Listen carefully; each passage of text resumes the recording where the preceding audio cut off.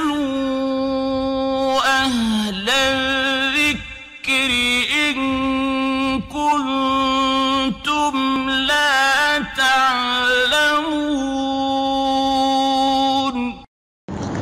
আসসালামু আলাইকুম রহমতুল্লাহ বরকাত বিসমিল্লাহ আলহামদুলিল্লাহ সালাত সালাম আল্লাহ রাসুলিল্লাহ আজকের যে বিষয়টা আলোচনা সেটা হচ্ছে যে মধু কেন মিষ্টি হয়।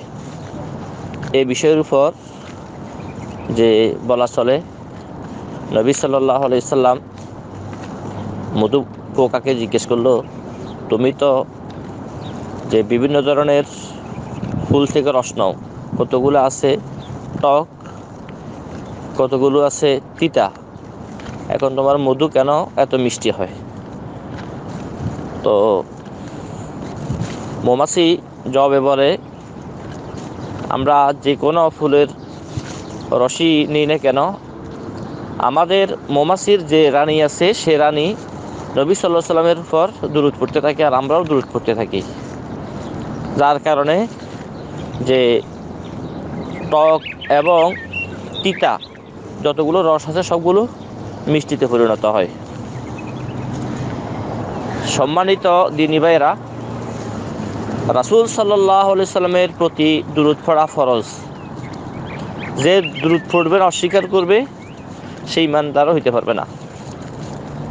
আল্লাহ তাবারাকাতালা বলেন আউযুবিল্লাহি মিনাশ শাইতানির রাজিম। ইন্নাল্লাহ ওয়া মালাইকাতাহু ইউসাল্লুনা আলান নবী ইয়া আইয়ুহাল্লাযিনা আমানু সাল্লু আলাইহি ওয়া সাল্লিমু তাসলিমা। হে ইমানদাররা আল্লাহ তাবারাকাতালা এবং ফেরেশতারা নবী সাল্লাল্লাহু আলাইহি সাল্লামের প্রতি সালাত পাঠ করেন। এগুলোর অর্থ হচ্ছে আল্লাহ তাবারাকাতালা নবী আলাইহি সাল্লামের প্রতি রহমত বর্ষণ করেন এবং ফেরেশতাগণ নবী সাল্লাহ সাল্লামের জন্য দোয়াই রহমত করেন। সুতরাং হে ইমানদাররা তোমরা নবী সাল্লাহ আলসালামের প্রতি সালাত ও সালাম পাঠ করো। তাহলে আল্লাহ তালার নির্দেশ, এটা ফরজ, এটা মানা যে আমরা দুপুরে একান্ত জরুরি। যে ব্যক্তি দুরুদ পড়বে না এবং অস্বীকার করবে, তাহলে সে মোমেন হইতে পারবে না। তাছাড়া নবী সাল্লামের উপরে সালাত সালাম পাঠ করার ফজিলত সহিদের মতো অভাব নাই। অল রাসুল্লাহ সাল্লাহ সাল্লাম মাং সাল্লা আলাইয়া ওয়াহিদাতাং সাল্লাহ আলহি আশু সালাওয়াতিন ওয়াহুত্তাত আনহুয়া ওয়া ওয়ারফিয়াত ইন্দালি আশুর দারাজাতিন। নবী সাল্লাম বলেন, যে ব্যক্তি আমার প্রতি একবার দুরুদ ফাট করে, আল্লাহ তাবার তারা তার প্রতি দশবার রহমত নাজিল করেন। এবং তার দশটি গুনাহ ক্ষমা করা হয় এবং তার মর্যাদা আল্লাহ নিকটে দশ গুণ বেড়ে যায়। ওয়া বিহামদিহি। এবং নবী আলাইহি সাল্লাম বলতেছেন যে, তোমরা আমার প্রতি বেশি থেকে বেশি সালাত সালাম পাঠ করো, আমি তোমাদের জন্য সুপারিশ করব। নবী সাল্লাহ আলাইসাল্লামের আরও একটি হাদিস যে, খাইরু ইয়মিন তলাত আল্লাহ হিসামসু ইয়মুল জুম আহ যতদিন সূর্য উদয় হয়, এর মধ্যে শ্রেষ্ঠ দিন হচ্ছে জুমার দিন। আর তোমরা আমার উপরে জুমার দিনে বেশি থেকে বেশি সালাত সালাম পাঠ করো। তাই নবী সাল্লামের প্রতি আমরা অবশ্যই দূরত সালাত সালাম পেশ করব, পাঠ করব। তবে মিথ্যা কাহিনী দিয়া নবী সাল্লাহ সাল্লামের প্রতি দূরত ছড়ার আগ্রহ সৃষ্টি করার সেরকম মন মানসিকতা রাখা একজন ইমানদারের কাজ নয়। কারণ রাসুল সাল্লাম বলেন, ইন্না কাজিবান আলাইয়া লাইসা কা কাজিব আলা আহাদিম মিন মান কাজিবা আলাইয়া মুতাআম্মিদান ফালিয়াতাবাওয়া মাকআদাহু মিনান নার।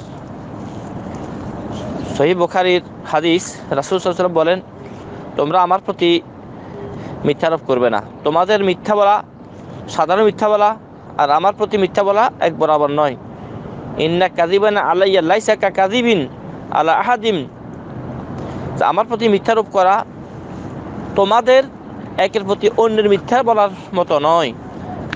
কারণ যে ব্যক্তি আমার উপর ইচ্ছা করে মিথ্যারোপ করবে সেই যেন যাহার নামে তার ঠিকানা বানিয়ে নেয়।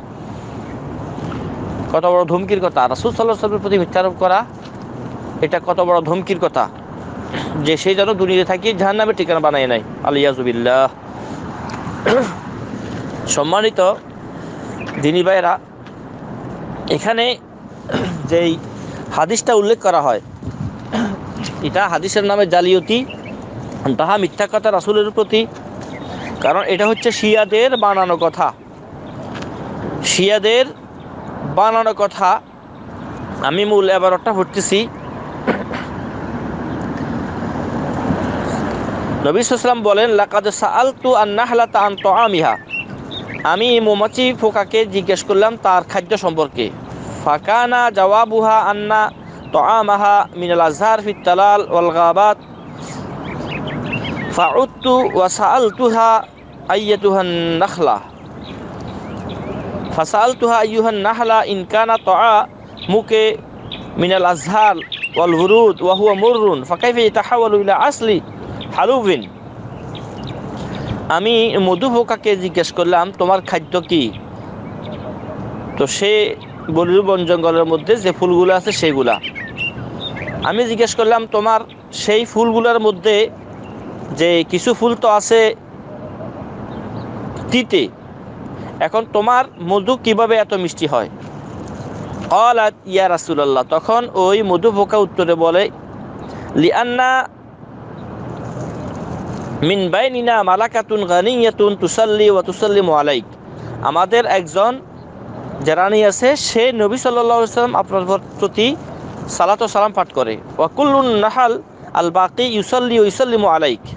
আর প্রত্যেক অন্যান্য মোমাসিগুলোও আপনার প্রতি সালাত ও সালাম পাঠ করে।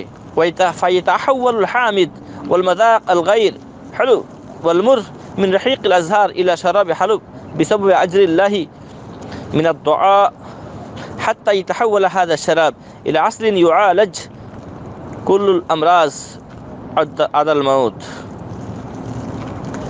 তখন ওই মধু পোকা বলে যে যত প্রকারের এরকমভাবে বিষাদ এবং তিতে এবং টক যত কিছুই এরকমভাবে রস হোক না কেন এগুলা মিষ্টিতে পরিণত হয় এই জবাব দিল কে মধু পোকা এবং এই জন্যেই মধু পোকা বলল যে, মধু দিয়ে মৃত্যুর সারা সকল লোকের কি করা হয়? চিকিৎসা করা হয়। এখন এই বানাওয়াত মিথ্যা জাল কথা সম্পর্কে বলা হয়, লা আসলা লিহাজ আল হাদিস এফি কুতুবি সুন্নতিল ওয়াল আসার।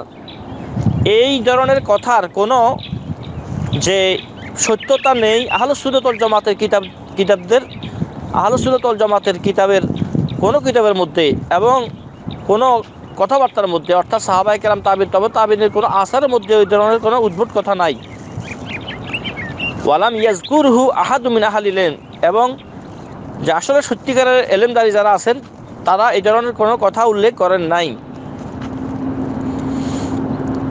ওয়াইন্নামা তাতানাকালুহু বাদু কুতুবির রাফেজা আল্লাহ ইয়ান্তাশিরু ফিহাল কেদিব আল্লাহ রাসুল্লাহ সাল্লাহ সাল্লাম। এই ধরনের কথাবার্তা উল্লেখ থাকে রাফিজিদের কিতাবের মধ্যে। যেই রাফিজি, শিয়া রাফিজি এদের যে কিতাবগুলো মিথ্যায় ভরা রাসুল সাল্লামের উপরে অনেকগুলো মিথ্যারোপ করা হয়েছে তাদের বইগুলোর ভিতরে।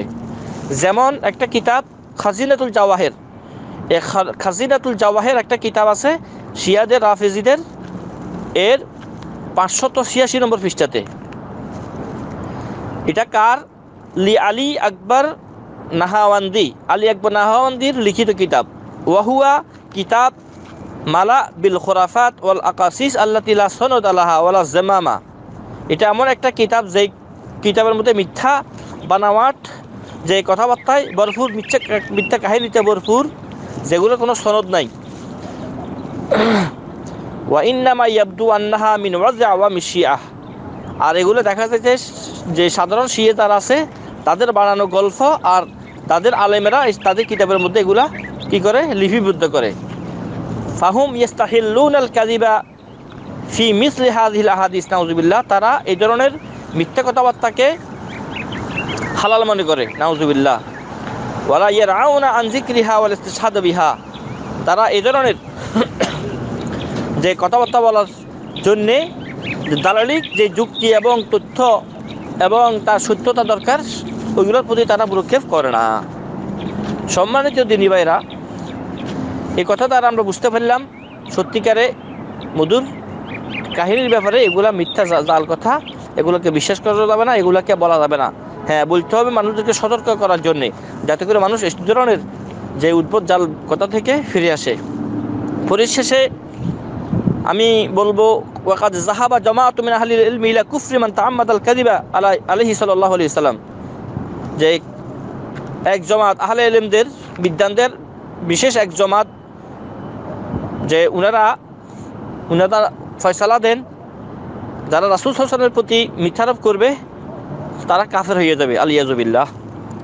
তাই সম্মানিত দিনী ভাইরা আমরা রাসুল সাল্লাহ সাল্লামের একটা হাদিসের উদ্ধৃতি দিয়ে শেষ করতেছি। হাদিসটি সহি বুখারির একশত ছয় নম্বর হাদিস। রাসুল সাল্লাম বলেন, লা তাকদিবু আলাইয়া, তোমরা আমার প্রতি মিথ্যারোপ করো না। ফাইন নেহমান কাদাবা আলাইয়া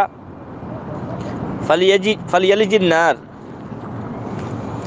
যে ব্যক্তি আমার প্রতি মিথ্যারোপ করবে, সে জাহান নামে প্রবেশ করবে নাওজুবিল্লাহ এছাড়া অনেক হাদিস আছে বোখারির ভিতরে যে মান কাদাবা মান কলা আলাইয়া মালাম আকুল ফালিয়ে তাবা ওয়ামাক আদাহমিনান্নার যে ব্যক্তি আমার প্রতি আমার কথা বলবে, যে কথাটা আমি বলে নাই, তো সে যেন জাহান্নামের ঠিকানা বানাই নাই আলিয়াজুবিল্লাহ আল্লাহ তাবার কথা আমাদেরকে নবী সাল্লাহ সাল্লামের যে সঠিক হাদিসগুলোকে সঠিকভাবে উপস্থাপন করার তভিজ্ঞান করুন এবং সর্বপ্রকারের জাল বানাওয়ার মিথ্যা হাদিস থেকে নিজের এলেমকে পরিশুদ্ধ করার তফিক দান করুন। আশা করি বিষয়টা বুঝতে পারছেন। বাকি আল্লাহ আলম ইসলাম সালাম আলাইকুম রহমতুল্লাহ বরকাত